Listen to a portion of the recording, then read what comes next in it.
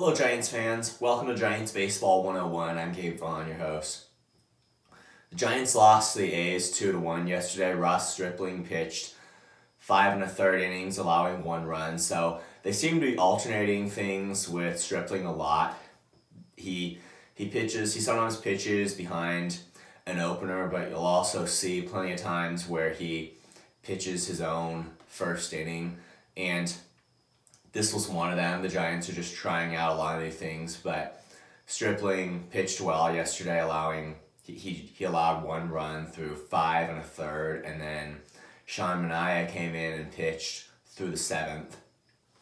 The Giants didn't score through seven innings. Their their bats were just really quiet today, and I, I mean it it it, it just they they've been having serious offensive issues, but that kind of changed a bit over the past couple of weeks as the Giants started winning some significant sets. Most recently, they took three out of four against the Diamondbacks, but yesterday they, they just they couldn't hit the ball but behind one to nothing in the eighth, they tied it on Joc Pederson's sacrifice fly that scored Thairo Estrada, who just returned from the injured list.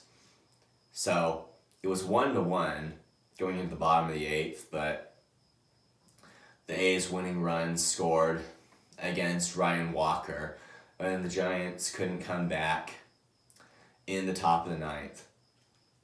So really, it, it was just a really cold day for the Bats, and it goes without saying that the A's are not a team that you want to lose to, and I, I just thought that this was another really good opportunity for the Giants to take two games, but it didn't happen. Still, the Giants do have a very comfortable record. I, I, I think it's something like 61 wins, I think. It's it, it's a very comfortable winning record and they, they have they're well above 500 and that is the good news that they're they're they're probably protected at least for a while and they, they were on good they, they, they were on a a real good streak prior to this, having won the past two game well the two game series against the A's last week and then they, they took the next two out of three and three out of four games.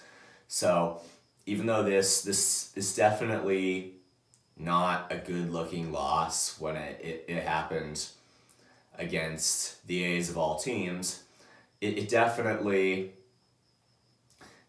I, I would say that circumstances are not as bad as they could be, and that there is a good chance that the Giants could could just get hot again and put this behind them.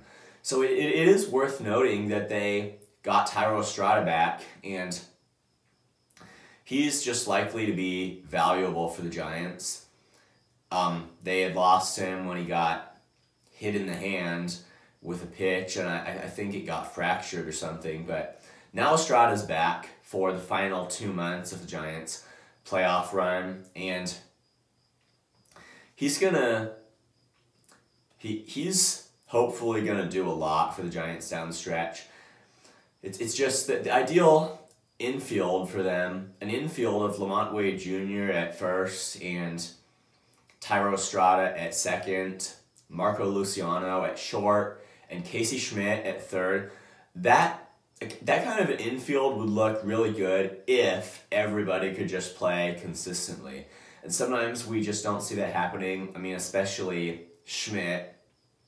He has kind of fallen into a slump. Um, and, and sometimes Wade Jr.'s more or less consistent as well. And Luciano, he was optioned to the minors a little bit earlier this week. Um, I would expect that we'll see him again soon, but obviously in his case too, he just need to put up consistent numbers. But I, th- I think the Giants could put up a really productive infield if everybody can kind of just get it together. Thank you for watching. This has been Giants Baseball 101. Please subscribe if you haven't. Also, please leave your questions and comments. You know where to do it. I'll see you next time on Giants Baseball 101.